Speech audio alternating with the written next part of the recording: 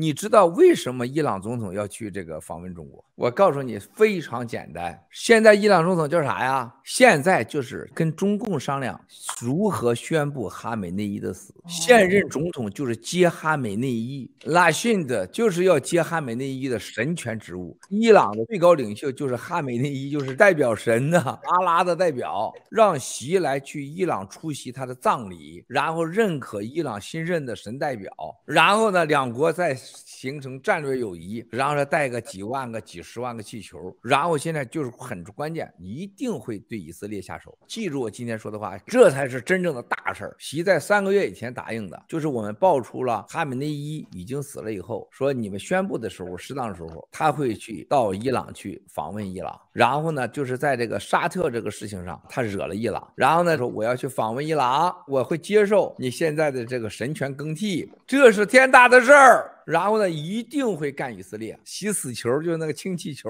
氦气球，洗死球发到以色列去。而且会说从叙利亚去，再张叙利亚。